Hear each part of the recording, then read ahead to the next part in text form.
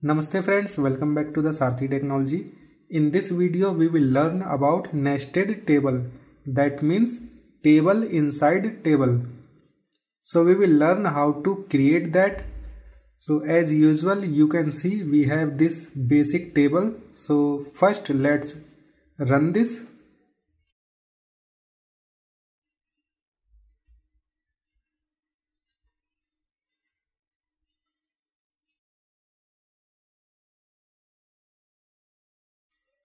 so this is our table. What we want to do we will add one another table in this cell. Okay?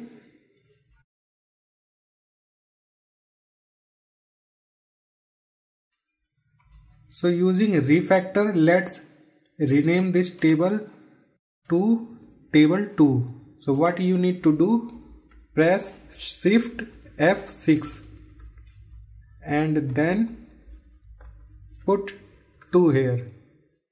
So this is table number 2 now and we will create table 1 before this table 2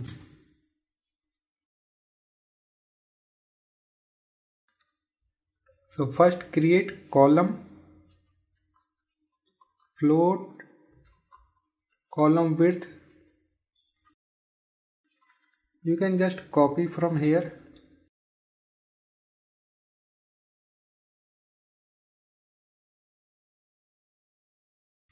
and this will be column width 1 equal to 100 into 100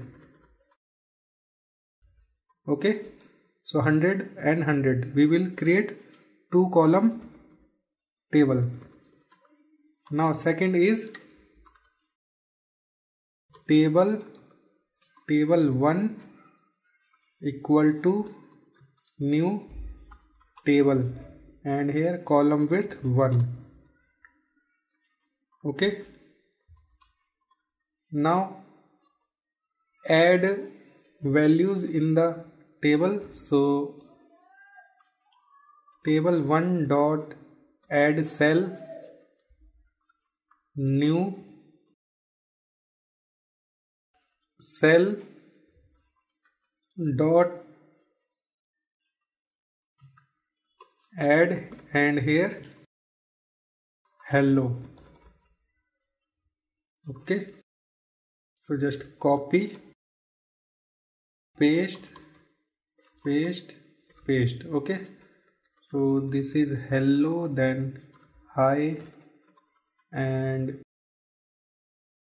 here we will put for example good and here bye hello hi goodbye. Now what we need to do? Just add this table 1 in the table 2 in this cell.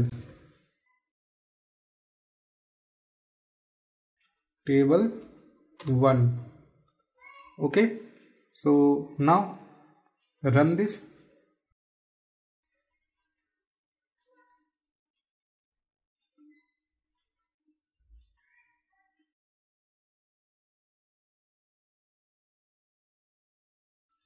and here you can see in this cell we have one another table.